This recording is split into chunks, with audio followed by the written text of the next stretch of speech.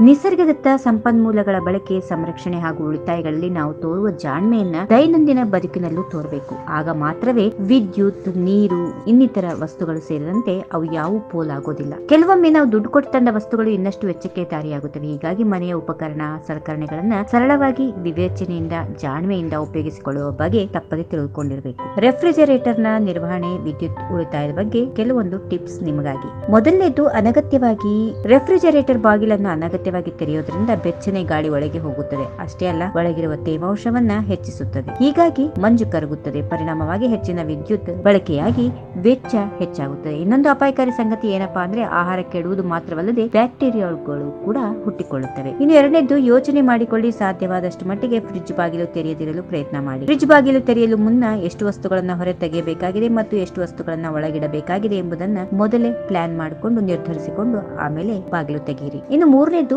ಯಾವುದೇ ಅನ್ನಾಗ್ಲಿ ಪೋಲ್ ಮಾಡೋದು ಅಷ್ಟು ಒಳ್ಳೇದಲ್ಲ. ಫ್ರಿಡ್ಜ್ ಒಳಗೆ ಉಷ್ಣಗತೆ ಸಾಮಾನ್ಯವಾಗಿ ಪ್ಲಸ್ ನಾಲ್ಕರಿಂದ ಪ್ಲಸ್ ಐದರವರೆಗೆ ಸೆಟ್ ಮಾಡಿಡಿ. ಫ್ರಿಜ್ಜರ್ ಮೈನಸ್ ಹದಿನೈದರಿಂದ ಮೈನಸ್ ಹದಿನೆಂಟು ಡಿಗ್ರಿ ಇರಬೇಕು. ಇದು ಹೆಚ್ಚಿನ ಕಾರ್ಯಕ್ಷಮತೆಯ ಜೊತೆಗೆ ಆಹಾರವನ್ನ ಕೆಡದಂತೆ ಸಂರಕ್ಷಿಸಲು ಬೇಕಾಗುವ ಪ್ರಮಾಣ. ಆದರೆ ಉಷ್ಣತೆಯನ್ನ ಮತ್ತು ಕಡಿಮೆಗೊಳಿಸಬೇಡಿ. ಒಂದು ಡಿಗ್ರಿ ವ್ಯತ್ಯಾಸವಾದರೂ ಸರಾಸರಿ ಶೇಕಡ ಆರರಿಂದ ಎಂಟರಷ್ಟು ಶಕ್ತಿ ಪೋಲಾಗುತ್ತದೆ ಒಂದೇ ಫ್ರಿಡ್ಜ್ ಅನ್ನ ಬಳಸಿ ಎರಡು ಸಣ್ಣ ಫ್ರಿಡ್ಜ್ ಗಳನ್ನ ಇಡುವ ಬದಲಾಗಿ ಒಂದು ದೊಡ್ಡ ಫ್ರಿಡ್ಜ್ ಬಳಕೆ ಉತ್ತಮ. ಎರಡು ಸಣ್ಣ ಫ್ರಿಡ್ಜ್ನ ಸಾಮರ್ಥ್ಯ ಹೊಂದಿರುವ ಒಂದೇ ಫ್ರಿಡ್ಜ್ ಅನ್ನ ಉಪಯೋಗಿಸಿದಲ್ಲಿ ಶೇಕಡ ಇಪ್ಪತ್ತರಷ್ಟು ಶಕ್ತಿಯನ್ನ ಉಳಿತಾಯ ಮಾಡಿಕೊಳ್ಳಬಹುದು. ಇನ್ನು ನಾಲ್ಕನೇದ್ದು, ಹೊರಗೂ ಸ್ವಚ್ಛ ಇಡಿ. ಹೌದು ಫ್ರಿಡ್ಜಿನ ಹೊರಗಡೆ ಭಾಗ, ಒಳಗಡೆ ಭಾಗ ಎರಡು ಶುಚಿಯಾಗಿರುವಂತೆ ನೋಡಿಕೊಳ್ಳಿ. ಹೊರಮೈಯನ್ನ ಶುಚಿಗೊಳಿಸಿ ಫ್ರಿಡ್ಜ್ ಇಟ್ಟಿರುವ ಜಾಗದಲ್ಲಿ ಚೆನ್ನಾಗಿ ಗಾಳಿ ಆಡ್ತಾ ಇರಲಿ. ಗೋಡೆಗಳಿಗೆ ಸ್ವಲ್ಪ ಅಂತರದಲ್ಲಿ ಅದನ್ನು ಇಡಬೇಕು. ವಾತಾಯನ ವ್ಯವಸ್ಥೆ ಅಸಮರ್ಪಕವಾಗಿದ್ರೆ ಶೇಕಡ ಹತ್ತರಷ್ಟು ಹೆಚ್ಚು ಶಕ್ತಿ ವ್ಯಯವಾಗುತ್ತದೆ. ಇನ್ನು ಮುಂದಿನದು, ಬಿಸಿ ವಸ್ತುಗಳನ್ನ ಆದಷ್ಟು ಫ್ರಿಡ್ಜ್ನೊಳಗೆ ಇಡಬೇಡಿ. ಯಾವುದೇ ಕಾರಣಕ್ಕೂ ಒಳಗೆ ಬಿಸಿ ವಸ್ತುಗಳನ್ನ ಇಡೋದ್ರಿಂದ ಇತರ ವಸ್ತುಗಳು ಕೂಡ ಬಿಸಿ ಆಗುತ್ತವೆ ಅಷ್ಟೇ ಮಾತ್ರವಲ್ಲ, ಒಳಗಿನ ಉಷ್ಣತೆ ಹೆಚ್ಚಿ ಹೆಚ್ಚಿನ ವಿದ್ಯುತ್ ಉಪಯೋಗ ಆಗುತ್ತೆ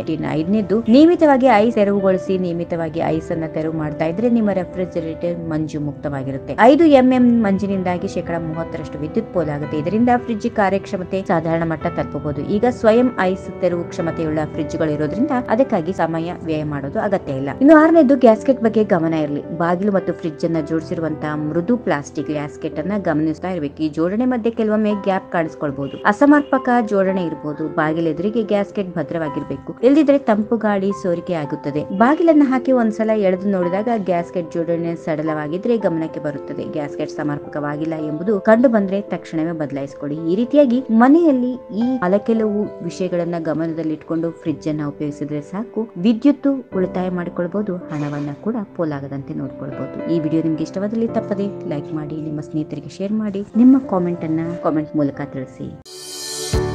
If you like this video ಬೇಗ ಲೈಕ್ ಮಾಡಿ ಕಮೆಂಟ್ ಮಾಡಿ ಶೇರ್ ಮಾಡಿ. ಹಾಗೂ ಅಲೋ ಟಿವಿ ಕನ್ನಡವನ್ನು ಸಬ್ಸ್ಕ್ರೈಬ್ ಮಾಡಿ.